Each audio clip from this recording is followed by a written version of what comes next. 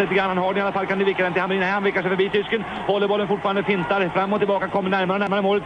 Ut på högkant Simonsson. Simonsson tvärvänder. Får den för långt ifrån sig och petar den på en tysk. Men vi kommer igen nu. Gren, Gren skjuter där. Just i mål! Nej!